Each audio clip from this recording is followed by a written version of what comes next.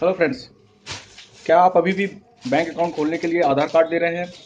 क्या आप bank officer आपको बैंक अकाउंट खोलने के लिए अभी भी आधार कार्ड मांग रहा है? या फिर आप सिम लेने के लिए बिना आधार कार्ड के आपको सिम नहीं दी जा रही है?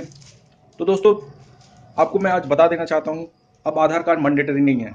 दोस्तों बैंक अकाउंट खोलने के लिए या सिम लेने के लिए अब आधार कार्ड देने की कोई ज़रूरत नहीं है। और यदि आपको कोई मैंडेटरी बोल के माँगता है तो आप इसकी कंप्लेंट आर से कर सकते हैं।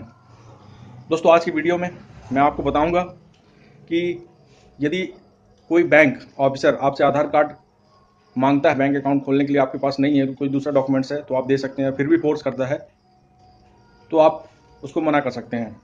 इसी प्रकार सिम लेने के लिए भी मना कर सकते हैं और नहीं मानता है तो उसके ऊपर कार्यवाही की जा सकती है। चलिए देखते हैं दोस्तों, वीडियो में। सब्सक्राइब करने के लिए सब्सक्राइब का बटन दबा दें। ये नोटिफिकेशन के लिए बेल आइकन का बटन दबा दें। दोस्तों मैं वीरेंद्र सोनकर सच्ची खबर से आपका स्वागत करता हूँ। दोस्तों आज के वीडियो में आपको बताऊँगा कि आधार कार्ड मांगने पर एक करोड़ का जुर्माना हो सकता है और दस साल की जेल हो सकती है। तो ये कैसे हो सकता है? ये दोस्तों अभी तक बैंक में अकाउंट खोलने के लिए या नया मोबाइल सिम लेने के लिए आधार कार्ड मांगा जाता था।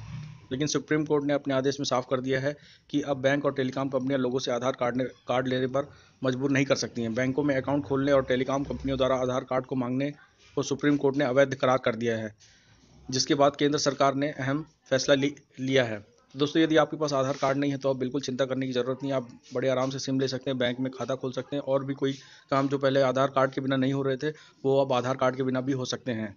पहचान और पते के प्रमाण के तौर पर आधार कार्ड के लिए दबाव बनाने पर बैंक और टेलीकॉम कंपनियों को एक करोड़ रुपए तक का जुर्माना भरना पड़ सकता है।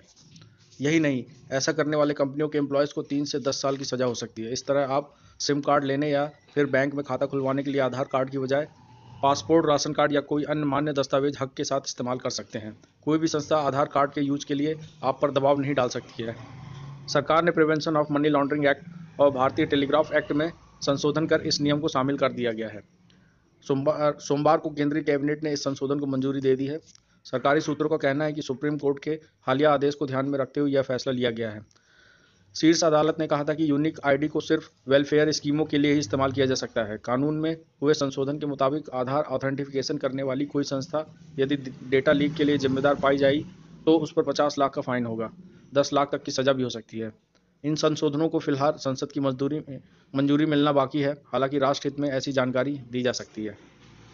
केंद्र सरकार के इस फैसले के चलते आप, आपको बैंकों में खाते खुलवाने और सिम कार्ड के लिए आधार देने की बाध्यता नहीं रहेगी। अब इस तरह कंपनियाँ और बैंक इसे अनिवार्य बता रहे थे। इस तरह से आपको आधार पर अधिकार भी मिल गया है कि आप चाहें तो इसकी जानकारी दें या फिर ना दें। सब्सक्राइब करने के लिए सब्सक्राइब का बटन दबा दें।